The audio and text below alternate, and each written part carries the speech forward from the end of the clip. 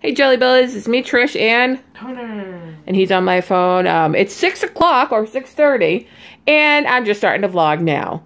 So I thought I'd give you guys an update on Connor. Connor, can you let everybody know how you're feeling? I'm feeling good.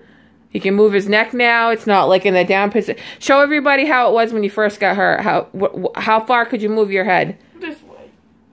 No, no, not now. I'm talking about when you first got hurt. Yeah, that's all he can move it. He couldn't even do that, but his head was down the whole time. Yeah, but you feeling better? Taking his amoxicillin like a champ. Taking his ibuprofen like a champ. He still looks a little stiff, but But not that stiff. not that stiff. But uh, I'm gonna let him go, and I'm gonna show you what our outside looks like because my mother and I were just working on it. All right, Connor, say bye to everybody. Bye everybody.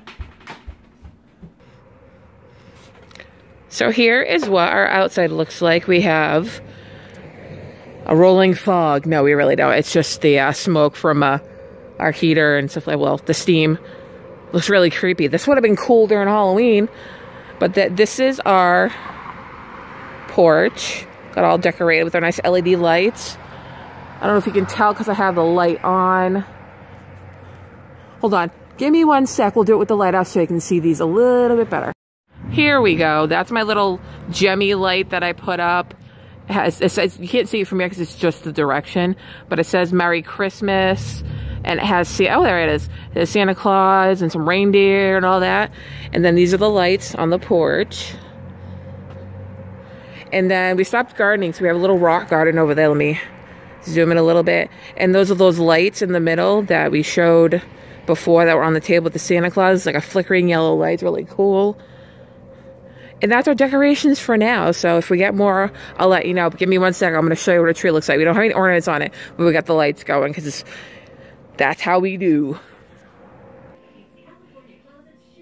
So this is what a tree looks like. We got an old school Santa Claus right there. I think we got that from my grandfather. And we have put the same lights on the tree. Doesn't it look good? And then we have those little candle lights in the windows.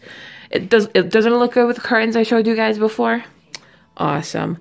But uh, I will see you guys in a little bit because I'm probably going to do a whole lot of wrapping tonight. So see you in three, two, one. So I'm just about to go to bed.